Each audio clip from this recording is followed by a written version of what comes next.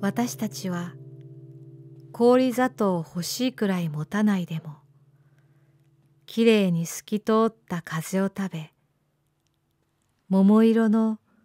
美しい朝の日光を飲むことができます。また私は畑や森の中でひどいボロボロの着物が一番素晴らしいビロードやラシャや宝石入りの着物に変わっているのをたびたび見ました。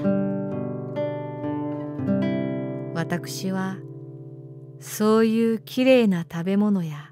着物を好きです。これらの私のお話はみんな林や野原や鉄道線路やらで虹や月明かりからもらってきたのです。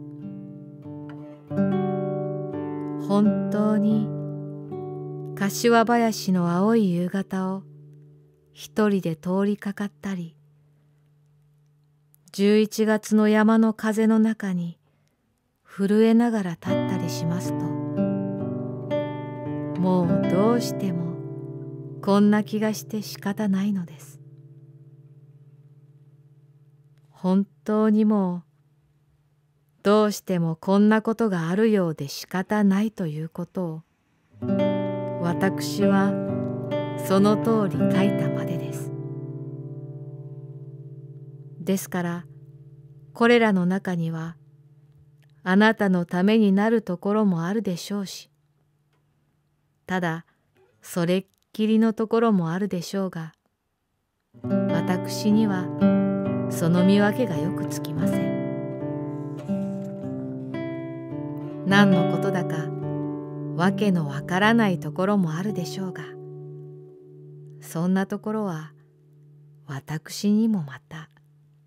わけがわからないのです。けれども私はこれらの小さな物語の幾切れかがおしまいあなたの透き通った本当の食べ物になることをどんなに願うかわかりません。